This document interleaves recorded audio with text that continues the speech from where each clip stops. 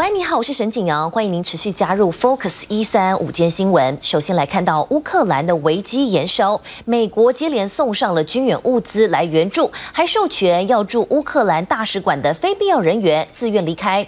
同时呢，英国政府也指控说，俄罗斯积极培植的傀儡政权代理人准备夺权。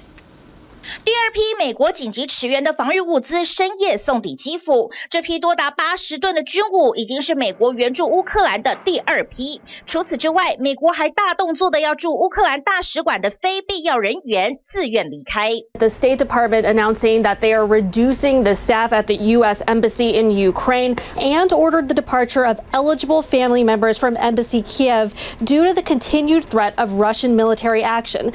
送军武降载使馆人数，这是要开战的节奏吗？美国还对乌克兰发出了四级旅游警告，就是要美国公民别到当地去旅游。但此时，英国政府指控一名立场亲俄的乌克兰媒体大亨穆拉耶夫，其实就是俄罗斯政府暗中培植、打算夺取乌克兰政权的代理人。但是当事人跳出来否认。Мне сложно сказать, я же не могу влезть в головы людей, как, с которыми я не знаком. В общем-то, как и не знаком с Путиным, и с половиной тех, кто должен выйти в мое правительство, ну, по мнению. 莫拉耶夫表示，英美只是不喜欢他的亲俄立场，但是他根本没见过普京，甚至还是俄罗斯制裁的对象之一。 克里姆林宫也用大大的 “fake” 字眼回击说，一切都是假消息。只是此时，西方的反俄阵线又出包。德国海军司令薛恩巴赫居然说，普京值得尊重。这一句争议失言被炮轰，他自请下台。只是这让带头的美国很头大。First, we've been very clear that if there is any further Russian aggression in terms of sending Russian forces into Ukraine, there will be a swift, there will be a severe, and there will be a united response. 一再澄清，北约盟友坚决反俄，只是布林肯一周内连忙奔走，最后几乎都在帮自己盟友擦屁股，反倒是俄罗斯在一旁看好戏。TVBS 新闻综合报道。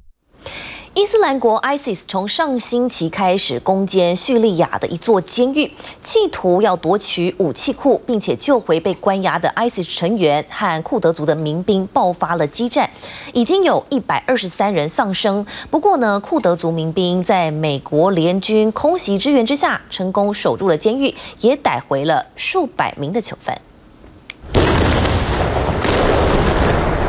建筑物传出爆炸巨响，现场浓烟密布，还不时传出枪声。ISIS 对叙利亚东北部哈塞克这座监狱发动大规模攻击，库德族民兵全力抵抗，冲突已经进入第四天，造成至少一百二十三人死亡。الجوري تخميني ما كسر إيرشكارجي جماري وحشتي حتى صديق صد الضحايا الجوري بيشارك ونها درجتك نهارش الضويجي بشكل يعني 原来这座监狱疑似关了至少三千五百名 ISIS 成员，还包括领导阶层。为了救出同伴，ISIS 用汽车炸弹攻击监狱。 不过，库德族领导的叙利亚自由军在美国联军空袭支援下，成功守住了监狱，也逮回数百名囚犯。 وسلاح بايدهم ما اقول لك انه ما في فيه بس انه ما يقدر يعمل شيء ذخيره يمكن هلا ما ضل عندهم كثير من هيك ما عاد يقاوم 库德族部队拿着枪挨家挨户清扫监狱周边想要找出还在逃的 isis 成员。双方持续激烈交火只是无辜居民也遭到战事波及大批民众大包小包逃离家园。这也是 isis 被美国联军击败近三年后发动的最大规模攻击。Tv 的新闻综合报道。二十三号这天，对岸派出了三十九架次的共军扰我防空识别区，这也是去年十月以来的第二高。而我空军也立刻派遣空中巡逻兵力来应对，以及防空飞弹追踪监控。只是呢，共军瞄准的目标似乎是美日的联合军演。就有军事迷收录到一段美军回应共机的广播。美国太平洋舰队和日本海上自卫队在十七到二十二号菲律宾海进行联合演训，军事迷也罕见收录到这一段广播。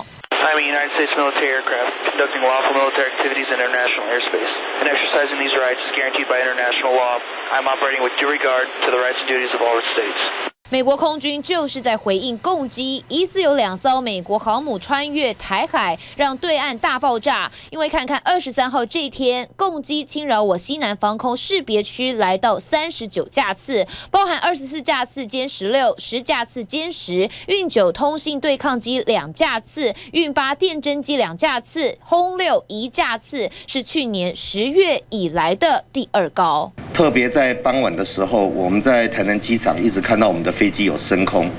那三十九架次的量，当然比平常多一点。确实，据了解，二十三号这天，光台南基地就派出至少十批次、二十架次战机；台东制航基地换向两千也一样。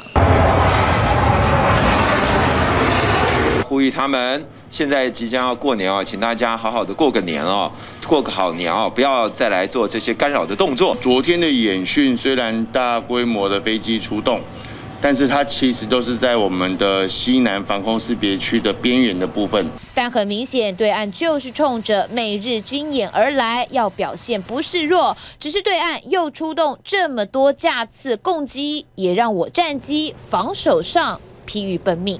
TVB 新闻蔡明勋、谭一伦台北报道。日前，F 十六 V 战机失事，再次凸显了空军飞官高风险、高压力的任务特性。事实上呢，不只是空军，目前三军都面临了严重的人力短缺以及后勤吃紧的难题。专家就指出了，国军的硬体军武呢，其实非常的先进，但是如果后勤系统跟不上的话，在战争的时候恐怕也没有办法发挥战力。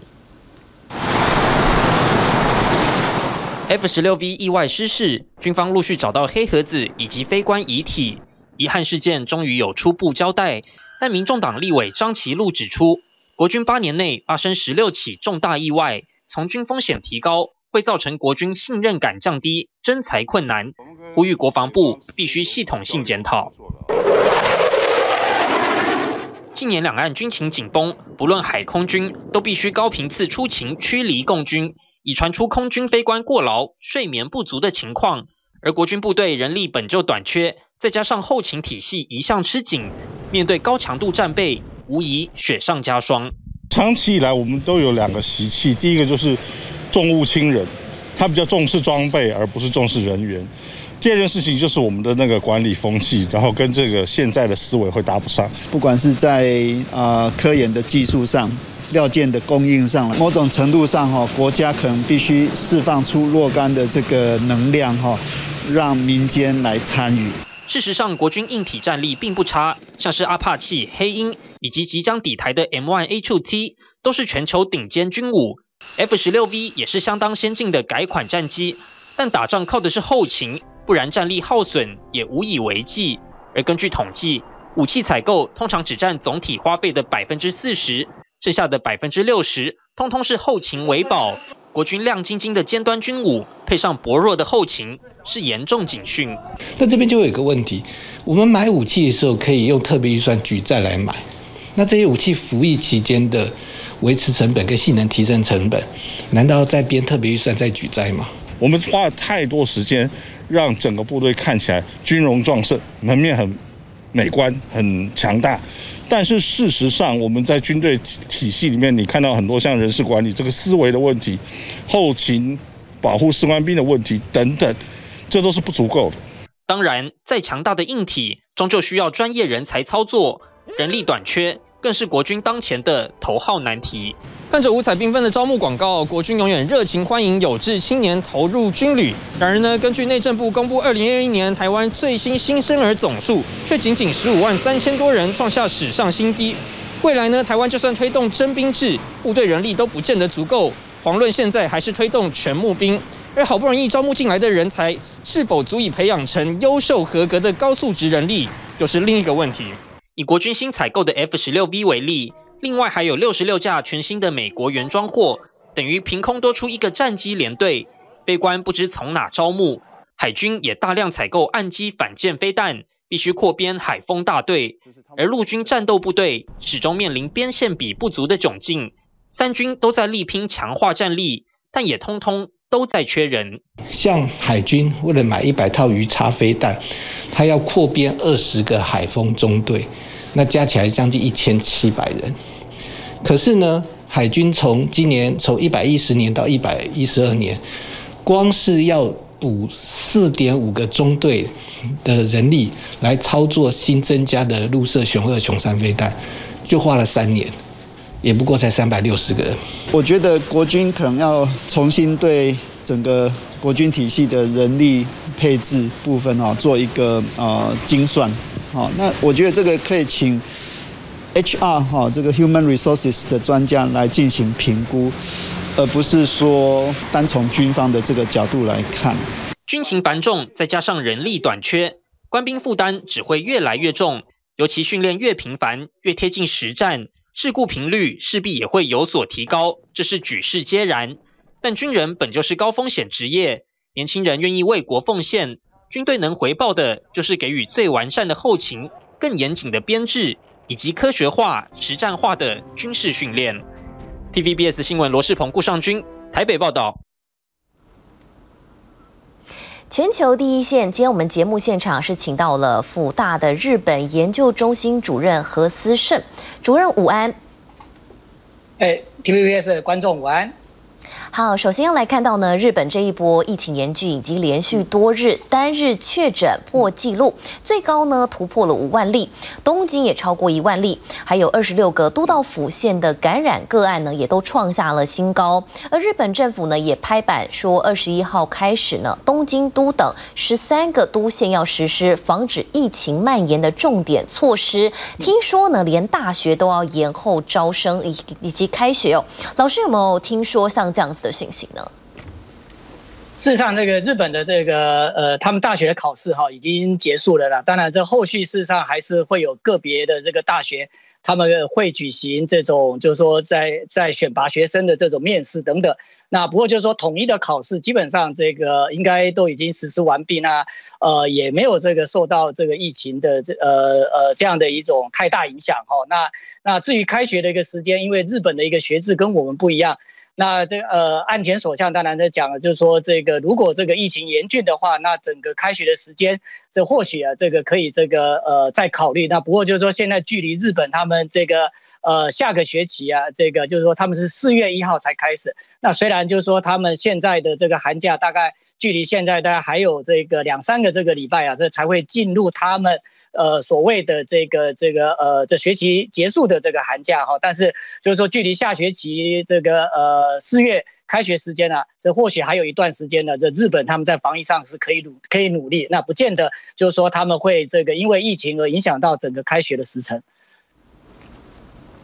好，刚有提到，对于十六个都县的防疫蔓延措施，如果要实施三个礼拜的话，经济损失恐怕会达到一兆一千两百亿日元。如果呢，再加上大阪、京都、兵库也同样实施这个措施的话呢，经济损失更上看一兆三千五百亿的日元，失业人口会增加四点四万人。主任，您怎么看呢？呃，当然，这个呃，如果因为疫情哈，然后他们在宣布这样的一种所谓的这种这种防止这个蔓延措施，事实上这个措施基本上是蛮接近，就是说这个呃，他们之前已经这个有实施过的这种这个所谓的这种紧急事态，那就是说如呃，那他这次事实上这个整个范围的也蛮大的，有十六个这个都县哈。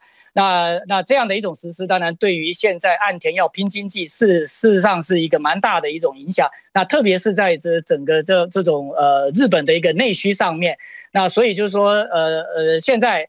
呃，当然，这样的一个影响似乎是是是是免不了，但呃，他如如果这个呃不做这样的一种措施的话，那可能啊只会使这个整个疫情啊，这个像日本的这个呃各个这个县啊，这个更加的一个扩大，所以这个就是说两权相害取其轻，在那初期的时候。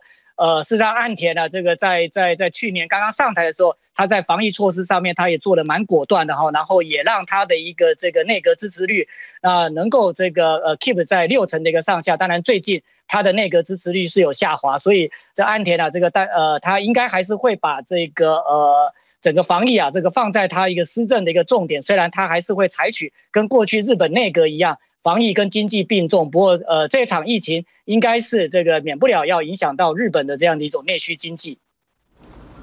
好，不只是日常生活受到影响，现在连学校呢也受到影响了。像连这个日本厂商生产呢，像日本的丰田汽车也宣布了，员工因为染疫的情况扩大了，所以一月份呢，日本的工厂将扩大减产，旗下有十一座的工厂停工。之前呢，因为晶片的问题已经造成了极大的影响，现在又因为疫情停产，主任这会不会对日本的经济造成更多的冲击呢？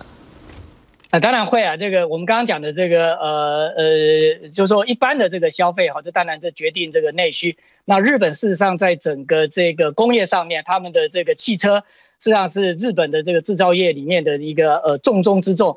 那这个呃，因为这各个车厂啊，他们这个也呃的员工也没有办法，这个在这场疫情当中，嗯，能够啊这个全身而退，所以这个像丰田汽车等等这些这个大厂啊，他们也在这个最近啊，那纷纷这个因为疫情而这个影响到他们的一个生产线的正常运作。那当然这里面还有部分的也是因为这个缺料，整个这个供应链啊，很多的这个零组件没有办法及时的这样的一个这个呃正常的一个供应。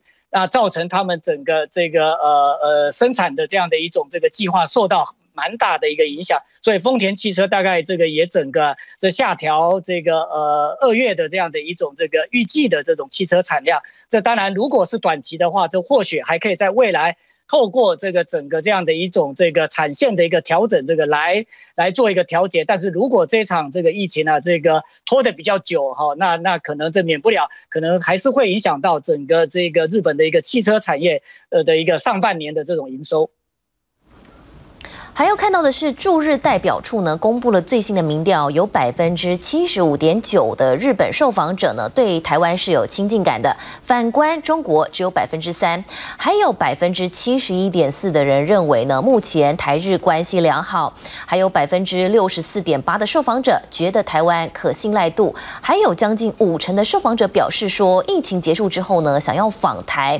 老师的观察，疫情是不是让台日的关系更加友好呢？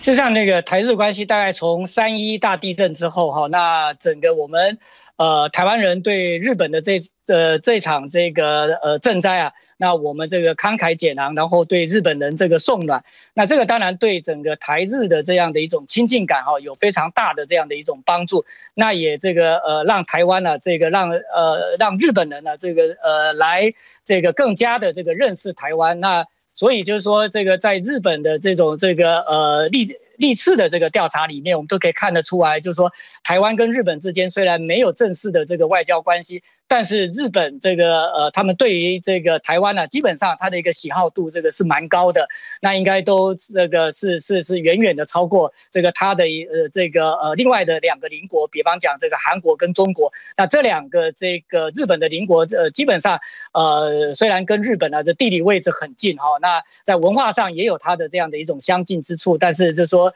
中日这个跟这个日韩呢这个他们这个感情都不睦，但相对的我们跟跟跟日本之间我们相互。之间的这样的一种呃，这种人民之间的这种友好哈，那是远远的这个超过这个跟呃这个呃日本的有邦交的这个韩国跟中国大陆的这样的一种情况。好，非常谢谢何主任今天在节目中跟我们分享台日的相关讯息，再次谢谢何主任，谢谢各位观众。欢迎回到节目节目现场，来看到呢，首批莫沙东口服药今天清晨五点十八分抵达台湾，总共有一万人份，预计春节前呢就能上防疫前线。主要服用的对象呢是十八岁以上的新冠患者，具有重症风险因子。专家说呢，国外有人服用出现嘴巴苦的症状，但是口服药未来主要是在家也能吃。另外，辉瑞传出也下定了两万人份，也会在春节前来台。清晨天还没亮，防疫战线药物长荣货机平安送达，好几箱包裹运下机，其中白色外包装就是台湾和美国下定的莫沙东口服药。二十四号清晨五点十八分，历经两次改航班，终于从芝加哥送来台。这次订了一万人份，预估春节前就能加入防疫前线。这个药物是对。那个我们的基因有一点影响。莫沙东的口服药物在美国的呃建议里面，他是建议说，如果病患没有办法获得其他的治疗的话，最后才考虑莫沙东这个口服的抗病毒药物治疗。莫沙东口服药不只是轻症患者住防疫旅馆或未来在家都能吃，主要对象是十八岁以上病患，适合发病五天内病人有重症风险因子，得确实完成一天两次，共五天疗程。它会对预防重症跟呃死亡的比的的那个效果呢，大概是九成。那莫沙东从国外的数据看起来是三成。所以它效果是比较差，所以它排配排在后面也是这个这个原因。尽管防护力有差，同时传出辉瑞口服药也下定两万人份。部长陈时中也透露，过年前就会抵台，但得特别注意，可能有副作用。是在别的国家有民民众吃了以后，嘴巴有一些呃异常的感觉啊，觉觉得很苦很苦，需要吃喝大量的水。那辉瑞这个药呢，要注意你有没有吃别的药，因为这个药会跟别的药有交替作用。莫沙东口服药来台加入防疫战线，就是希望能控制疫情，同时稳定医疗量能。TVB 新闻陈佑祥、林志伟、黄进台北桃园报道。为了防堵疫情扩散，高雄市除了在港区设计筛检站之外呢，也在确诊者活动频繁的小港和前镇设置一处筛检站。另外，有地缘关系的旗津区设置了五处筛检站。而为了防止隐形传播链在市区流窜，市府也要求诊所要在户外看诊。不过执行上似乎有困难。八十几个人，八十几个哦，八十几个，对对对。周一上班日，筛检站涌入大批人潮。这是高雄小港的临海新村，另外在前镇渔港的西岸码头。才刚开始筛检，排队人潮已经将近两百公尺。因为这两个地方除了出现许多确诊者足迹，工作人员也都是高风险族群。另外，在旗津区更是如临大敌。你们有没有发烧？没有。最近有没有咳嗽？没有。高雄迄今除了确诊者足迹密布，还有确诊的高雄海科大学生，至今还没确认感染源。因此，二十四号一口气增设五处筛检站，预计要筛检两万人。而高雄市也准备了六千间的防疫旅馆备用，甚至为了防止隐形传播者入侵，从医院到诊所都有新措施。而鼻喉科诊所一早骑楼人潮滚滚，因为包括问诊、打针都得在室外完成，甚至一发现有呼吸道感染对象，还得发放快筛剂持续追踪。不过实际上是一个考验，因为很多诊所的骑楼可能都是比较小，又要在上呼吸道感染病人要看之前要给予他们这个快筛这个东西，我们并没有收到这些快筛的这些东西。原来高雄市要求医院一发现有呼吸道感染病患，得立刻快筛，确诊后立刻隔离。但一般诊所却是要求发放快筛剂，让病患回家检测，再把结果跟诊所联络。但万一民众确诊，不止诊所成了被框列对象，也让人力更加吃重。他们可以先到药店，然后先去买快筛剂，先给自己筛检。然后他们来的时候也把这个筛检结果给医生看。高雄市急着防堵疫情扩散，下达命令雷厉风行，但执行上却缺少后勤的补给资源，也让成效事倍功半。TVBS 新闻南部综合报道。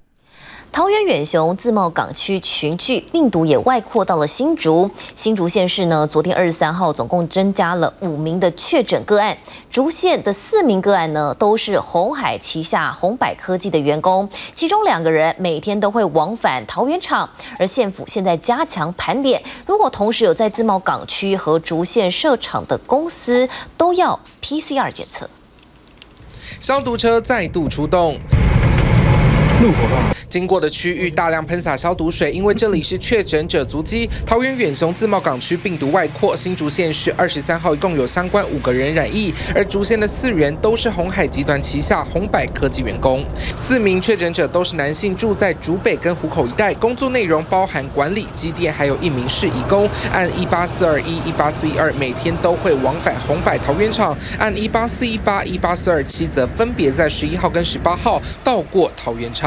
至于四人相关足迹曝光，全国电子、皇家骨科诊所、高滨旅社、竹东中央市场、宝岛屋面食馆以及多家超商都入列。那另外，我们也针对我们在自由贸易区里面的公司，如果在我们新竹县也有同样设厂的部分，我们由劳工处立即去盘点，呃，希望盘点到的也要立即做 PCR 的检测。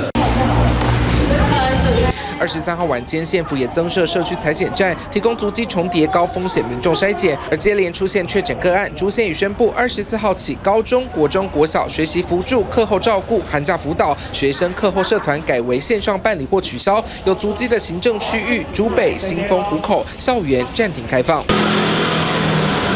另外，竹市确诊者按一八四二六，曾经在十八号到过远雄自贸港进行管线维修工作，被匡立裁剪后阳性，确定染疫。个案目前没有症状。那他的同住家人有一位被我们框列，那经过送 PCR 裁剪为阴性，目前预计安置到集中检疫所来安置。按一八四二六去过光华二街的喜乐生鲜超市、南雅街利特屋五金百货卖场、亚太电信、水田服务中心等等，特定时间到过相关地点，留意身体，有必要就裁剪，不让病毒遍地开花。TVB 新闻城市民寻听新竹报道。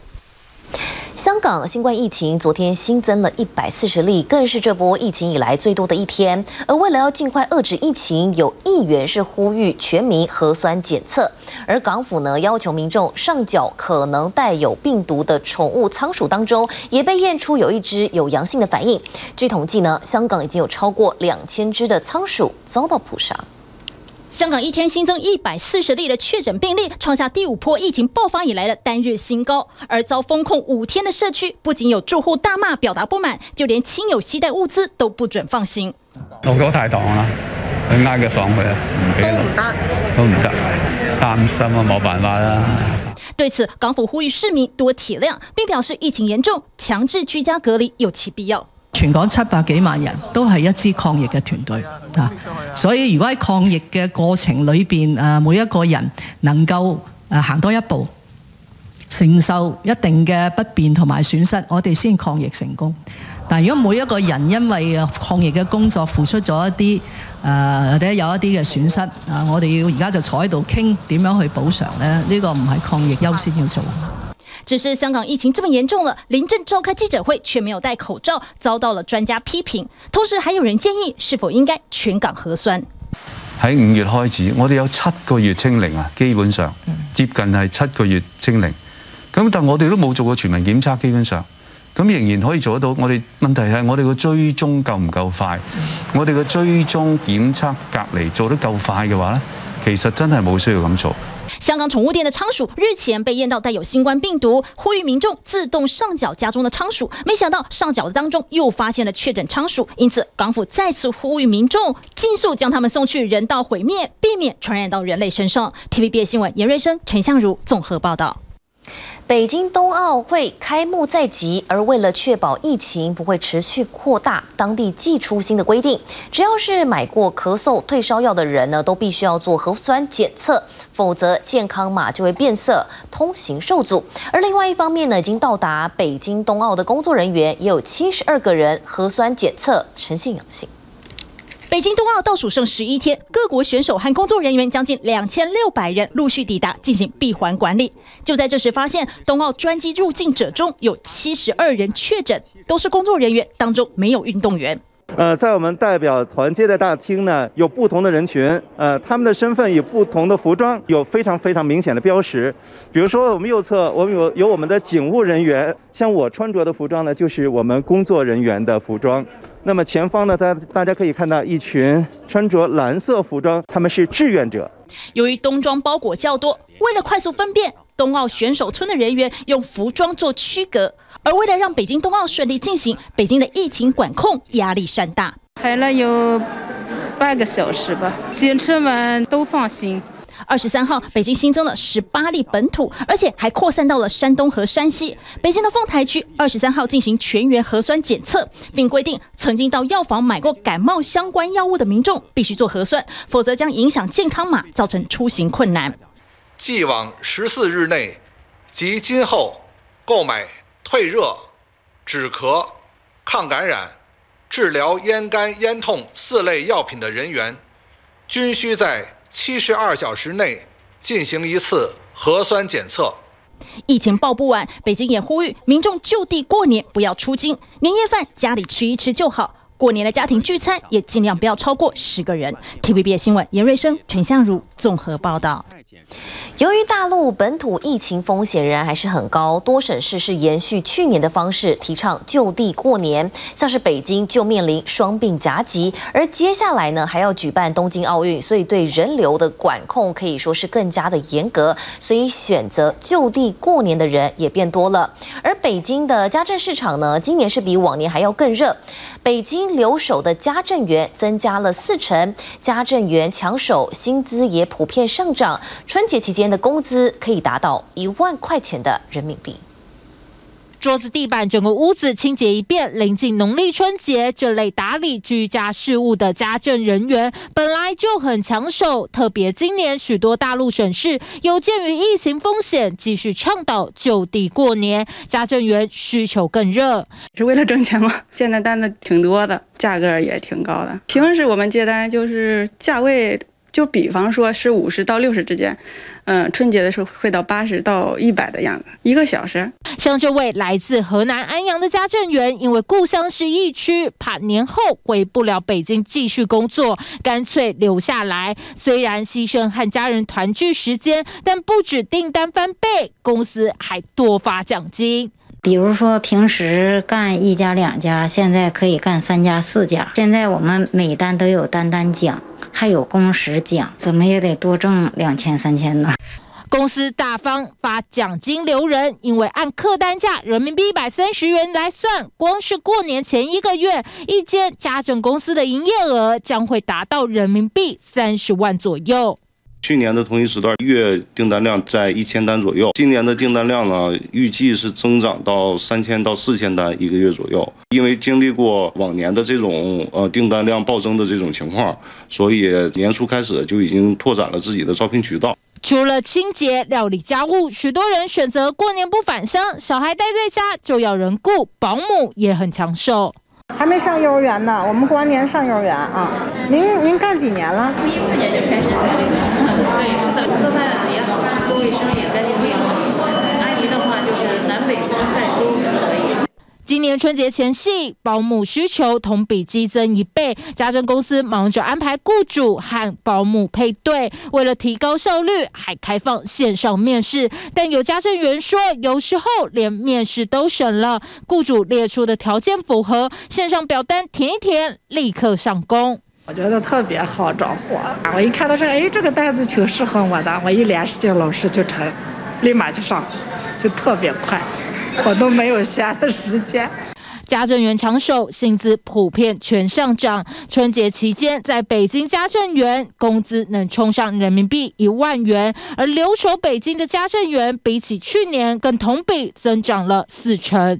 其实，在市面上，阿姨原来的普遍工资在七千到八千左右。现在的话，呃，我们的普遍工资应该是到九千到一万这个区间。育儿嫂啊，住家保姆啊，啊，工资都会有一定的上浮。按照目前疫情形势，北京就地过年氛围越来越浓厚。当地从十五号起累计到二十号，已有十一例确诊，疫情波及至少四个行政区，且同时存在 Omicron 和 Delta 病毒传播。本市进口冷链食品从业人员，由持七日内核酸检测阴性证明上岗，调整为持三日内核酸检测阴性证明方可上岗。除了冷链员工要增加核酸检测频次，北京现在两条主要传播链，一条是冷链，另一个锁定国际邮件。大陆邮政局已经下令，临近年关物流高峰，除了确保年货寄送，境外邮件要全面加强防疫消毒。TVBS 新闻综合报道。南韩也要迎新年，只是物价呢持续上涨，包括像是南韩人拜拜常食用的南瓜等蔬菜，价格都是大幅上涨的，贵到呢明治瓮只能买豆芽菜。但是相较之下，高档的年节礼盒销量却是大幅的增加，因为疫情没有办法见面，让民众更愿意用更多的钱赠送给亲友。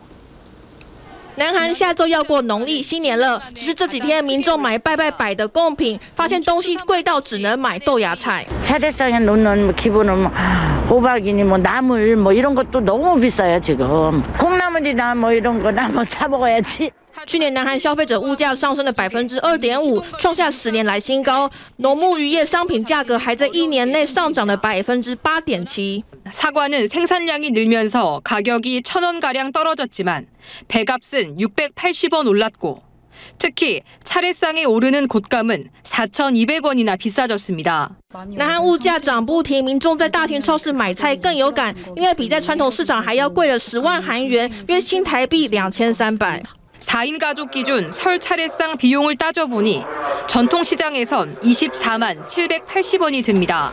지난해보다 6,910원 더 써야 하는 겁니다.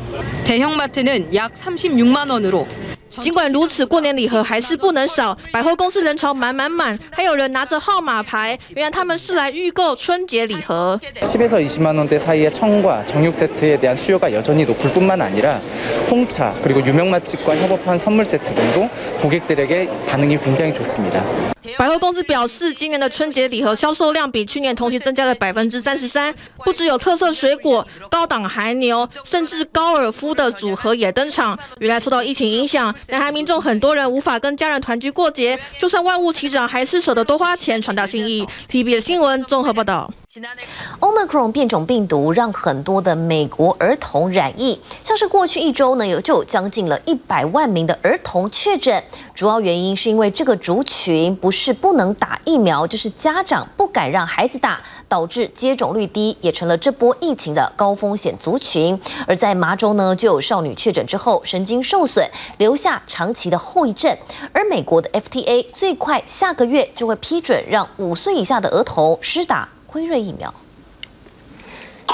乔治亚州年仅三个月大的宝宝感染新冠后不断咳嗽。 One of our biggest fears when we were pregnant with him was knowing how bad COVID was, was him getting COVID because of all the unknowns about it. 幸好这名宝宝情况不算严重，受 Omicron 肆虐影响，美国许多儿科开始感受压力。 Really been, we have matched our worst Delta wave um, with hospitalizations, and then even more than that are clinic visits for what might be considered mild cases, but it's overwhelming Clinics and emergency departments. 因为目前五岁以下的儿童都还不能接种疫苗，成为高风险群；而在年长一点的未成年族群，接种率也不够高。29 million eligible children have still yet to get a vaccine shot. 儿童接种率偏低，导致全美过去一个礼拜有将近一百万名孩童确诊，比去年冬季整整高出四倍。美国医生证实，相比原始的新冠毒株，Omicron 确实比较容易让小孩染疫。With the original strain of COVID 19 in 2020, we had very few pediatric cases, um, and it was thought that um,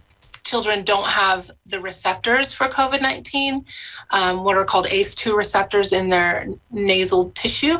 Um, but the virus has mutated so much that it can overwhelm those receptors. 医生表示，近期染疫的儿童主要出现喉咙痛、流鼻水、鼻塞、疲倦、咳嗽、头痛等症状，但有些也出现急性咽喉气管炎。不过比较没有嗅味觉消失的情况。但麻州一名染疫的十二岁少女出院后还得使用助行器，疑似有神经受损后遗症。 All my nerves were just like they weren't really working, my muscles, because I was in bed for so long. 在加州，目前仰赖扩大筛检维持学校正常运作。一间专门做 PCR 检测的实验室更已全面自动化。 Meantime, in California, Summer Bio, the state's largest testing site, is fully automated, working around the clock to process up to 120,000 rapid PCR tests a day. 但校园的挑战不止如此，像新墨西哥州，因为有太多教职员确诊，没人可以教课，州 长突发奇想，找来国民兵充当代课老师。 These are folks who are quickly adaptable because of their specific training to meet the needs in any community issue, irrespective of what it is. 现在美国考虑让五岁以下的儿童也接种疫苗，FDA 透露最快下个月就会批准。美国防疫大将佛奇则说，不排除儿童未来也要打三剂疫苗。 It is likely that it will be a three dose vaccine. And that being the case, it's going to take a little longer to get those data to the FDA and approved. 只是对儿童或青少年施打第三剂的措施，世卫组织认为还不需要。 There's no evidence right now that healthy children or healthy adolescents need boosters. No evidence at all. 表示没有证据显示小孩需要打增强剂。目前除了欧美、东南亚国家菲律宾开始帮十二岁以上青少年施打疫苗，甚至在马尼拉动物园开设专属的接种站，放松心情。Sabi ko nga bukod sa safe ka na nabaksinan ka dito, mag-i-enjoy sila sa paligid. 巴西则开放五岁以上的小孩都施打疫苗，不过总统波索纳洛却公开表示不会让自己的小孩接种。Eu adianto a minha posição.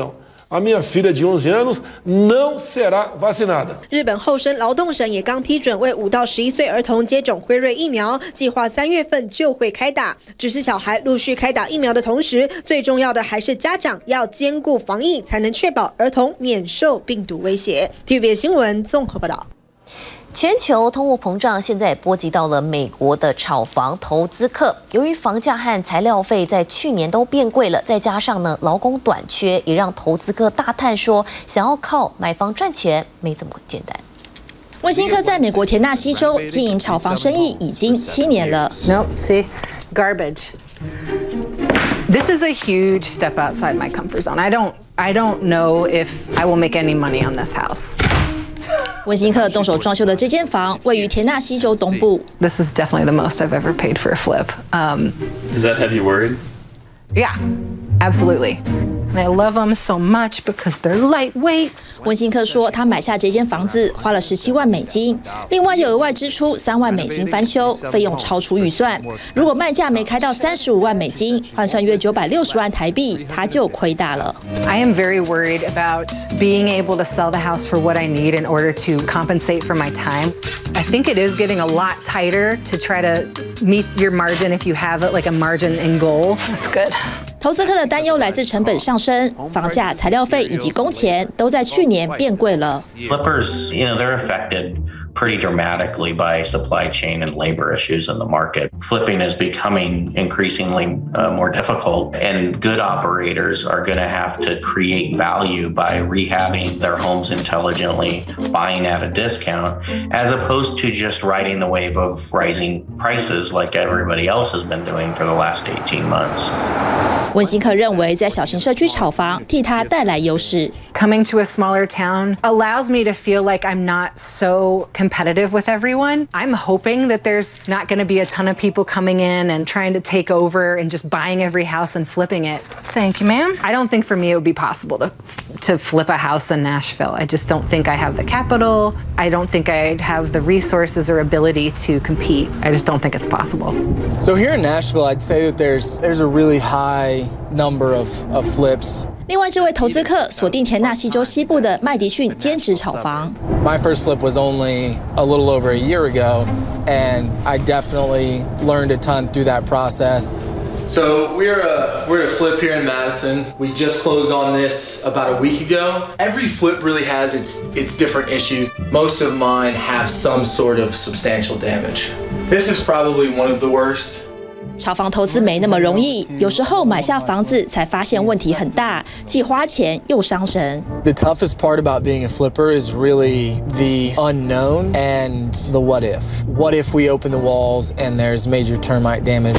What if I have to switch contractors mid job? Really, the anxiety, I guess, of flipping is probably the hardest part. 要花多少钱重新装修房子，如何正确定价，都是一次次炒房经验累积起来的。 I've got about $700,000 worth of debt at the moment. But you're not worried about it, or? No, I'm not. I'm not worried about it simply because I know what the properties are going to be worth once they're done, and I don't see the bottom falling out of this market anytime soon. I'm always worried that there's going to be a recession and then what value will this be? But at least still, I'm like, well, it's still, you're holding property, which is at least going to have some value in this world, I hope. 全球通膨现象一时半刻难以缓解，投资客只能保持乐观，等待投资获利的那一天。TVBS 新闻综合报道。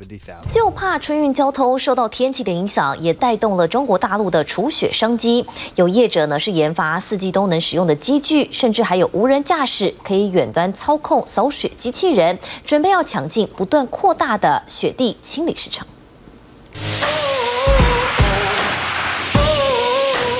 一波大雪过后，最期待的就是这个景象：一整排的除雪车开过，柏油路从雪白变回深黑。我们总共是一百二十个驾驶员，到现在为止，我们已经清除了一遍，连续作战，已经在是已经达到了大概有十五个小时。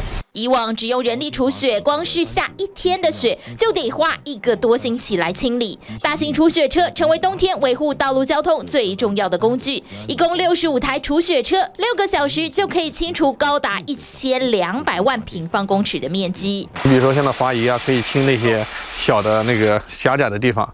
你比如说，我们这个洒水车啊，可以到冬季可以改成推板啊。包括雪轨啊，夏季可以正常的使用，一个综合性的。还有我们的撒布机，撒布机的话呢。可以作为一个融冰的一个提前一个准备工作，综合性比较强，相对比以前来讲的话，效果要更佳，速度更快。不像欧美的除雪车都是专用型的设备，包括配件都有限制。中国大陆业者研发出综合类型的除雪机具，可以替换除雪装备，不止冬天能够派上用场，甚至在夏天也能看到这些机具在马路上穿梭。夏天是用来洒水，冬天好多车就限制不用了，啊，所以说我们在环卫车的基础上。这个改装之后呢，它能够大大提高它的一个使用率。业者甚至还可以克制化生产，根据客户现有的铲雪设备搭配不同可以替换的装备。像这样的综合除雪车就已经卖出超过上千辆。不过，这还不是除雪设备业者的秘密武器。即将下线的这一款会到四千吨左右，四千吨积雪，啊，抛雪的这个距离。更大一部分提升，能抛到六十米以外。未来未来这个抛雪机在我们这个整个这个积雪下雪之后啊，道路的积雪清除和这个道路抢通，会是一个我们一个像神兵利器一样的一个一个设备。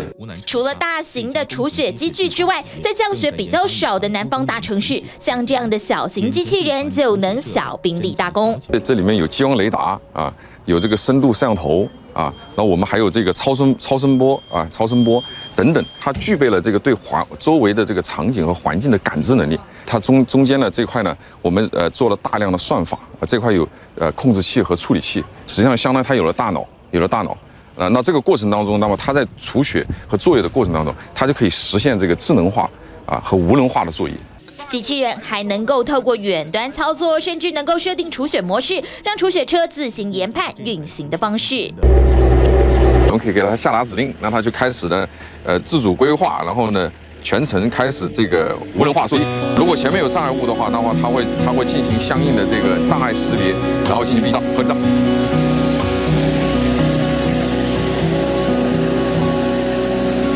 看到它会停下来，然后这个前面会有相应的这个识别线。